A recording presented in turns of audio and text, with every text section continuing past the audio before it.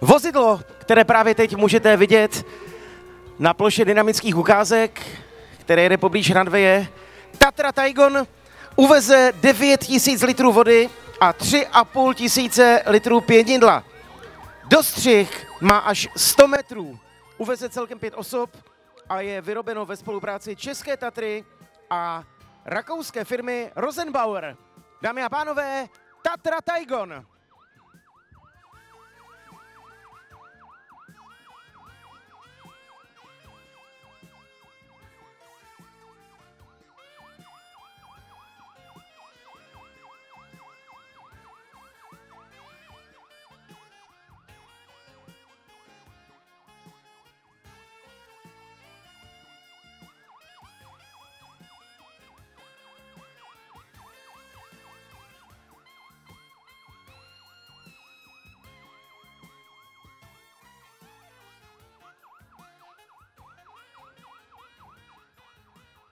Dámy a pánové, hasičské vozidlo Tatra Taigon právě teď prezentuje dostřik. My samozřejmě nevidíme maximální dostřik, protože ten je až 100 metrů.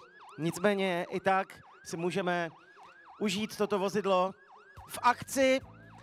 Možná některé účastníky VIP zóny i postříká uvidíme. Každopádně je to největší hasičská Tatra, jaká kdy byla vyrobena. Jediný exemplář a my jsme moc rádi, že se prezentuje na 18. ročníku Dnu na to v Ostravě a 9. ročníku Dnu vzdušných sil armády České republiky.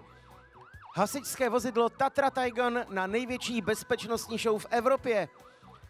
Jak už jsem říkal, má obří rozměry. Na délku 12 metrů, na šířku 3 metry, na výšku 4 metry a váží 43 tun. Uveze 9000 litrů vody a 3,5 tisíce litrů pěnidla a je vyrobeno ve spolupráci České Tatry a rakouské firmy Rosenbauer.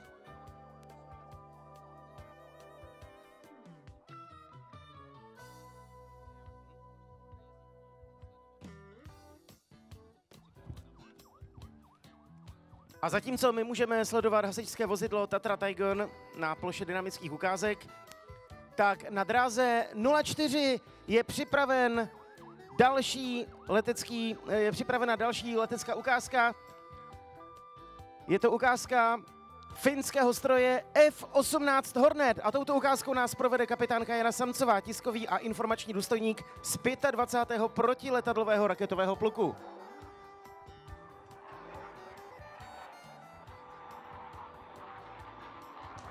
Dámy a pánové, tak právě nám začala další atraktivní dynamická ukázka, o kterou se postará, jak již bylo řečeno, stíhací letoun F-18 Hornet z výzbroje finského letectva.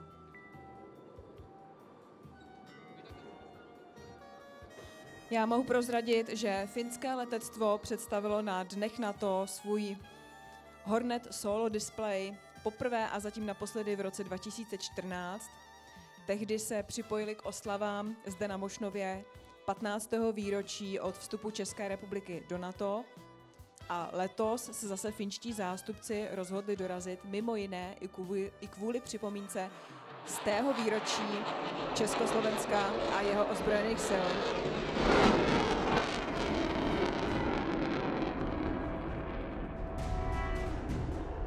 Dámy a pánové, Mohli jste sledovat, jak bojový letoun vypustil takzvané fléry neboli klamné cíle.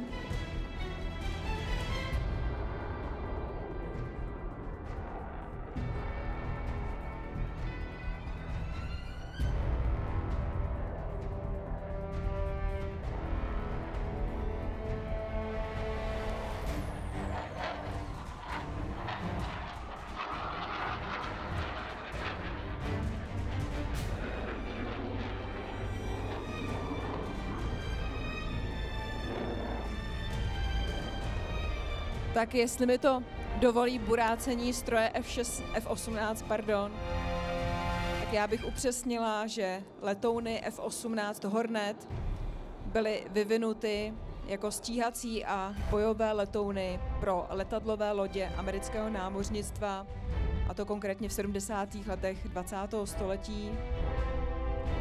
Finské Hornety původně při nákupu na počátku 90.